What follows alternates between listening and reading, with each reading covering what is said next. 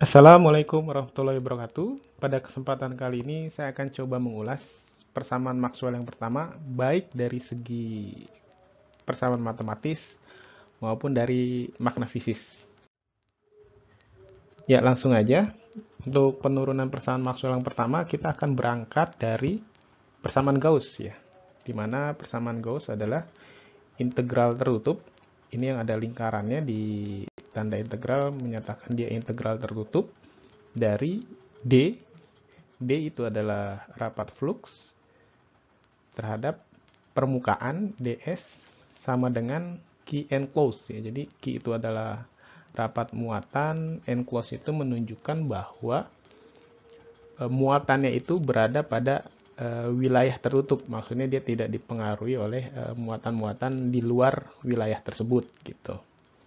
Dan di sini saya coba gambarkan apa itu rapat flux. Flux flux ada dua, ada flux medan listrik, ada flux yang dihasilkan medan magnetik. Nah, untuk D sendiri dia adalah flux listrik ya. Di mana flux listrik adalah ya seperti ini. Jadi eh, medan listrik yang menembus sebuah permukaan ya atau bidang ya sebuah medan listrik yang menembus sebuah bidang gitu. Karena dia diintegralkan terhadap S permukaan ya, maka nanti di sini eh, tadi yang menembus pada sebuah bidang atau permukaan. Gitu. Jadi ilustrasinya seperti itu. Nah, itu flux listrik sedangkan rapatnya itu berarti menunjukkan densitasnya gitu. Densitasnya itu berarti kerapatan dari masing-masing flux ini gitu. Kalau dia semakin rapat ya berarti muatannya semakin banyak kan gitu. Ya, jadi eh, rapat flux ya tadi diindikasikan diindikasikan dengan eh, rapatnya dari masing-masing medan listrik yang menembus sebuah bidang gitu. Dan kita tahu tadi bahwa medan listrik dihasilkan oleh suatu muatan gitu. Jadi kalau muatannya ini semakin banyak, otomatis kan dia medan listrik yang dihasilkan juga semakin banyak. Kalau antara muatan satu dan muatan dua atau muatan lainnya semakin dekat, maka otomatis rapat fluksnya semakin tinggi gitu kan, karena ya saling berdekatan, saling muatkan gitu. Lalu lanjut kita e, memiliki catatan bahwa divergensi dari D ya, kita punya punya rumus bahwa divergensi dari D sama dengan limit delta V mendekati 0 integral tertutup dari sebuah permukaan D per delta V. Jadi eh, ini merupakan teorema divergensi. Dan selanjutnya kita juga punya catatan bahwa rho V atau rapat muatan sama dengan Q enclosed muatan tertutup per satuan volume. Jadi uh, Ro mungkin lebih familiar dengan masa jenis ya. Sebenarnya sama ya. Kalau Ro yang biasa di uh, dikenali biasanya masa persatuan volume. Nah, karena di sini dibahas adalah elektromagnetik atau listrik statis, maka masa ini diganti dengan banyaknya muatan gitu. Jadi ini bisa disebut dengan densitas uh, listrik ya sorry densitas dari sebuah uh, muatan ya. Jadi di, biasa disebut dengan rapat muatan. Lalu kita coba lakukan penurunan matematis. Nah kita lihat di sini perhatikan di persamaan divergensi dengan persamaan hukum Gauss. Dia ada kemiripan. Di hukum Gauss ada integral tertutup d ds sedangkan di teorema divergensi ada integral tertutup d ds dibagi delta v gitu.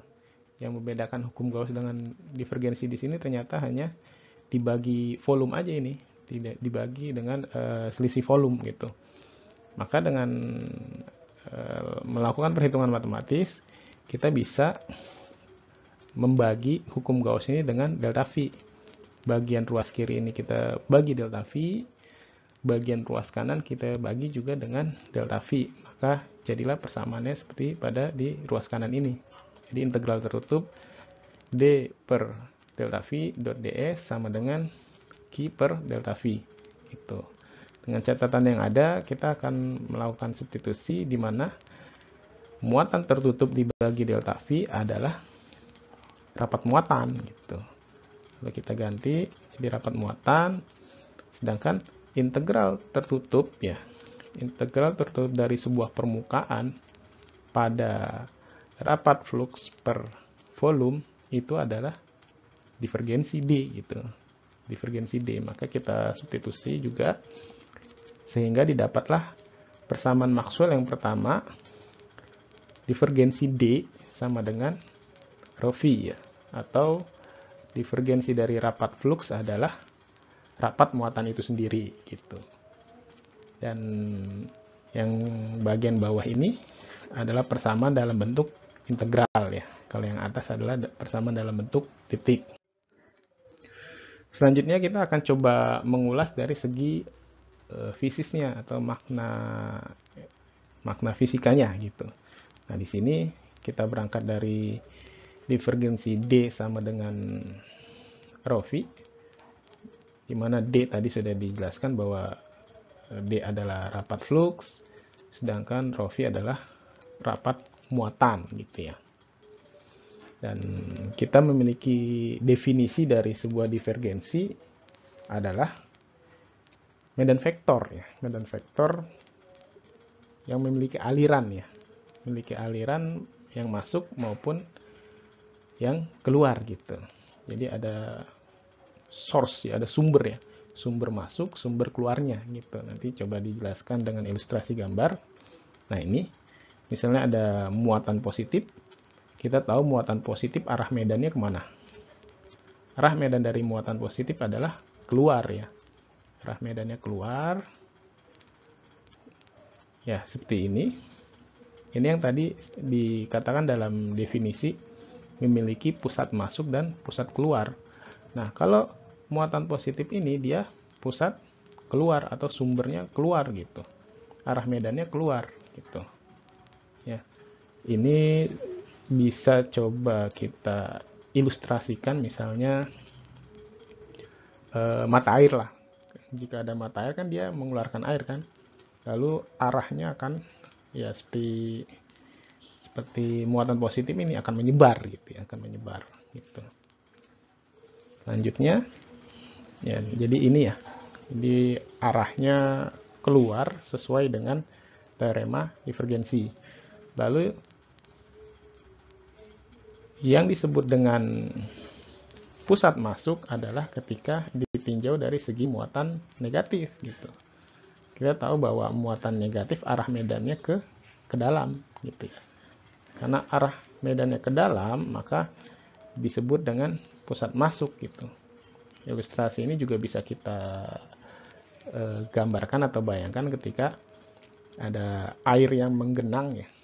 Ada air yang menggenang lalu di air yang menggenang itu ada sebuah lubang ya. Ada sebuah lubang otomatis nanti uh, air yang menggenang itu lama kelamaan akan masuk ke dalam sehingga nanti akan habis ya gitu. Masuk ke dalam gitu ya. Nah dari sini kita bisa menginterpretasikan atau memaknai bahwa tadi divergensi dari divergensi dari rapat flux adalah rapat muatan jadi aliran aliran rapat flux ya aliran dari medan-medan ini ya, sesungguhnya sama dengan dari muatan itu sendiri pada setiap volume gitu. Jadi besarnya bergantung pada e, nilai muatan itu sendiri gitu. Kalau di wilayah e, area tertentu atau volume tertentu nggak ada muatan ya, berarti divergensi dari D atau divergensi dari rapat flux nilainya nol kan gitu.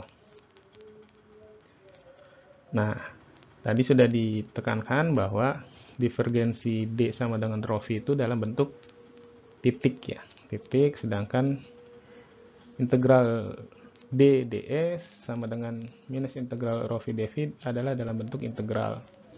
Sehingga kita bisa menyimpulkan bahwa e, divergensi dari rapat flux sama dengan rapat muatan adalah nilai rapat flux ya. Nilai rapat flux listrik itu bergantung dari banyaknya muatan tertutup dalam setiap volume gitu. Jadi kalau di sini muatannya lebih dari satu, otomatis kan dia nilai rapat fluxnya semakin besar gitu. Nilai rapat fluxnya semakin besar berarti menunjukkan nilai divergensi B-nya semakin besar gitu. Lalu untuk apa kita mempelajari rapat flux ya khususnya rapat flux listrik? Ya kita tahu bahwa flux listrik merupakan e, bagian dari medan listrik dan medan listrik adalah salah satu e, fenomena yang dapat membangkitkan beda potensial atau tegangan. Ya, itu kira-kira e, penjelasan sederhana dan singkat dari persamaan Maxwell 1. Semoga bermanfaat. Wassalamualaikum warahmatullahi wabarakatuh.